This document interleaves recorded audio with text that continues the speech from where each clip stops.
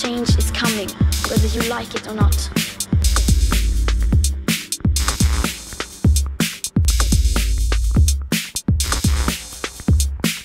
And if a few children can get headlines all over the world just by not going to school, then imagine what we could all do together if we really wanted to. But to do that, we have to speak clearly, no matter how uncomfortable that may be. You only speak of green, eternal economic growth because you are too scared of being unpopular. You only talk about moving forward with the same bad ideas that got us into this mess, even when the only sensible thing to do is pull the emergency brake. You are not mature enough to tell it like it is. Even that burden you leave to us children. But I don't care about being popular.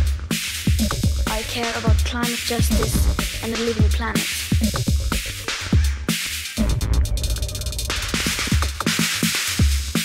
Our civilization is being sacrificed for the opportunity of a very small number of people to continue making enormous amounts of money.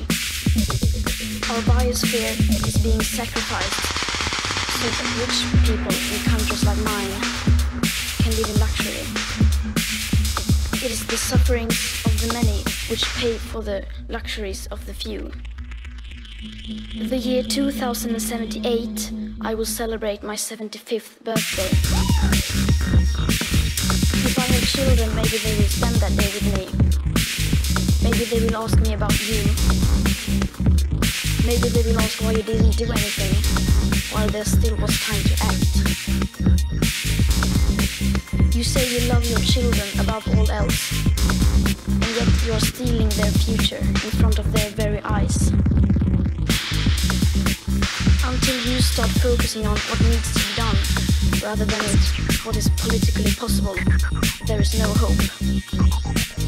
We cannot solve the crisis without treating it as a crisis.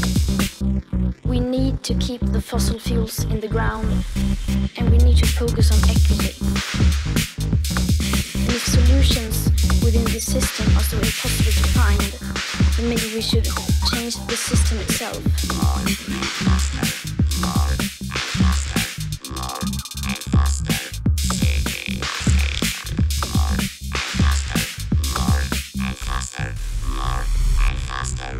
And if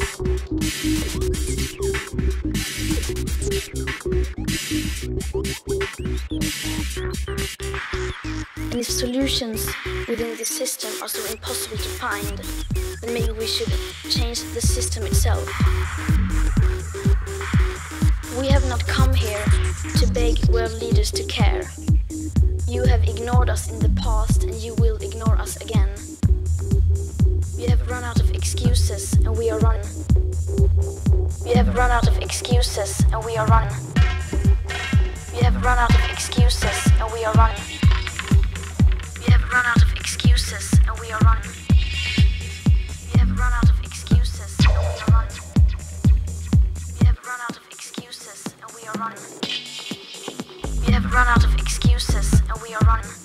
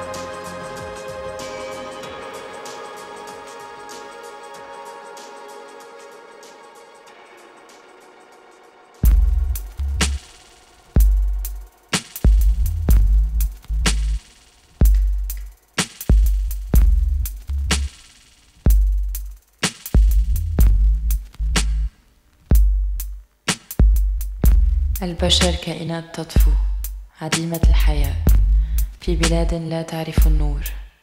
كل الأمور معقدة. تلتهم العقول فنستيقظ مثل البارحة.